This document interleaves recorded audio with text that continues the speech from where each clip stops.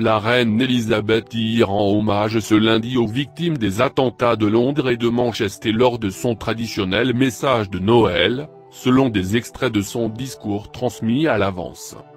Ce Noël, je pense à Londres et à Manchester, dont les splendides personnalités ont brillé face aux attaques épouvantables, dit la reine dans ce discours enregistré à Buckingham Palace, où elle apparaît dans une robe ivoire, arborant une broche en diamant en forme d'étoile. 35 morts à cause du terrorisme au Royaume-Uni cette année. Plusieurs attaques ont endeuillé le Royaume-Uni en 2017, faisant au total 35 morts. En mars à Londres, un assaillant a utilisé un véhicule pour percuter des passants sur le pont de Westminster avant de poignarder un policier devant le Parlement, faisant 5 morts.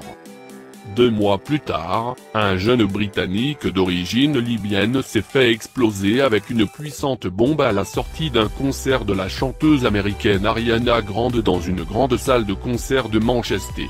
22 personnes sont tuées et 116 blessées, dont de nombreux enfants et adolescents.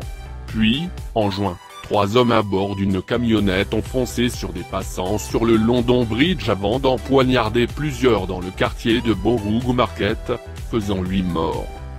Un mot pour le sens unique de l'humour de Philippe. Sur une note plus personnelle, la monarque de 91 ans évoque également son couple qui a fêté ses 70 ans de mariage cette année. Deux photos du couple royal, l'une en noir et blanc prise lors de leur mariage et une seconde diffusée à l'occasion de leur noces de platine, sont posées sur un bureau à ses côtés. Dans son discours, la reine loue le soutien et le sens unique de l'humour de son époux le prince Philippe qui, à 96 ans, a pris sa retraite cet été.